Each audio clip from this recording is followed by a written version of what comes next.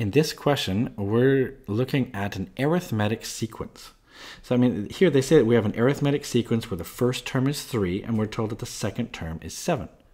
I think first it helps to know what a sequence is. A sequence is just a list of numbers separated by a comma, and they don't necessarily have to have a pattern.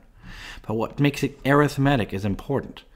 If it's arithmetic, it means there's a common difference, and that is what we call D. That common difference means you're always adding the same number, and you can add a negative number. So, for example, if you had 1, then you had 3, then you had uh, 5, then you had 7, then you'd always be adding, uh, for example, 2, right? If you added 2, 1 plus 2 is 3, 3 plus 2 is 5, 5 plus 2 is 7, and so on.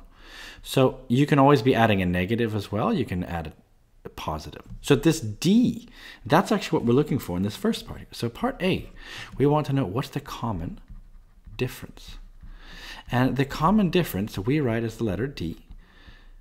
Uh, so let's write that down. And we're told that uh, this arithmetic sequence, the first term is uh, 3, sorry, and the second term is 7. Dot, dot, dot.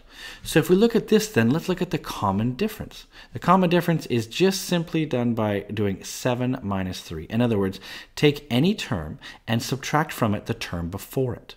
So in this case right here, we can go 7 minus 3, and that should be, well, that's 4. So that means then a common difference, d equals 4. This is what we need in order to do this question here.